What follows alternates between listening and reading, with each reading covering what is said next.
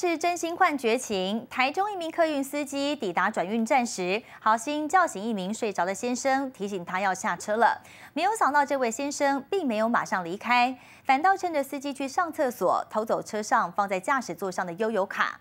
司机发现之后，气得抛网，因为这张被偷走的悠游卡是他亲手制作，全台唯一一张的放大版悠游卡。现在也决定报警处理。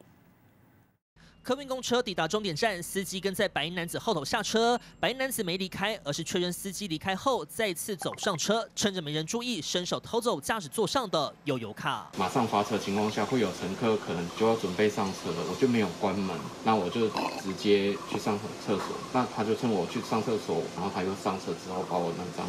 优卡偷走，司机发现优卡被偷，丢监视器，气得抛文，真心换绝情。司机说，这位先生在中心大学上车，看他走路一跛一跛的，还广播请他小心。抵达终点站，发现他睡着了，也起身提醒叫他起床。没想到这位先生竟然趁他尿急下车，偷走卡片。被偷走的悠游卡，司机相当珍贵，不但是他亲手制作，还是全台唯一一张放大四倍大的巨型悠游卡。放大了四倍之后，那个比例看起来就很明显。嗯哼。所以有些乘客会利用我停红灯的时间，就是可能开个玩笑，聊两句，就说：“哎，那。”悠悠卡怎么会这么大这样子？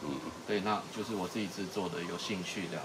虽然是全台唯一，余额也只剩下三百多元。司机原本想说算了，但询问同事后才知道，这位先生是客运常客，品性不好，还会跟司机乘客吵架，也是个手脚不干净的惯犯。司机不姑息，决定报警处理，要远警帮忙抓人，找回他的悠游卡。记者陈文胜炫，台中采访到。